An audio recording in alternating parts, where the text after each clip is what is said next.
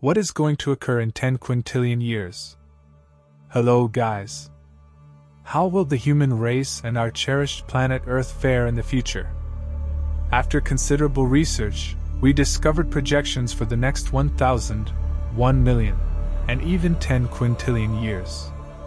Let's travel this path together. A millennium from now.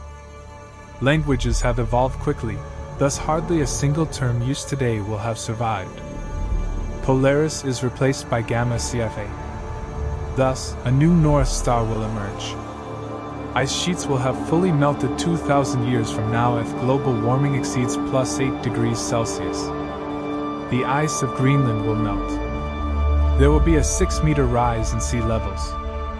Did you know that 5125 marks the end of the Mayan calendar, and, in accordance with the Mayans, another impending doomsday? If we live to be 5125, Chernobyl will eventually be safe in 20,000 years. In 50,000 years' time, the Niagara Falls vanish. The waterfall vanishes throughout the final 32 kilometers to Lake Erie due to erosion.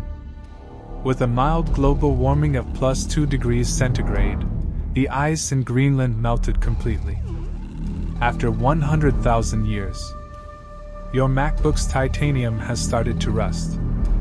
It is conceivable that the Earth was impacted by a supervolcano or a big asteroid that changed the environment. In 500,000 years, Earth will have moved through the galaxy, changing the way the stars appear in the heavens. In a million years, there will be a new global freeze and the spent fuel in today's reactors will finally be safe. Massive stone monuments like the pyramids at Giza or the sculptures at Mount Rushmore may still exist, but everything glass made to date will have finally deteriorated. Gone is everything else. Some have suggested that the Y chromosome could disappear in 5 million years, rendering men extinct. Africa and Eurasia will have merged 50 million years from now, shutting off the Mediterranean basin and forming a mountain range resembling the Himalayas. When the ice in Antarctica moves north and melts, the sea level rises by 75 meters. Don't worry, the galaxy may have been populated by then, and the Earth's orbit will be unpredictable in 60 million years.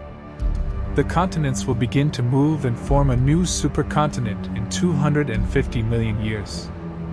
Multicellular life ends 800 million years from now when photosynthesis in the oceans is no longer possible.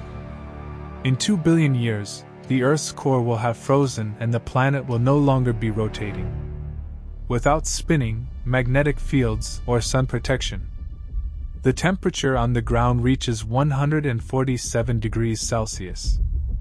In 7 billion years, when the sun reaches its maximum radius, it will have extinguished along with all life on Earth.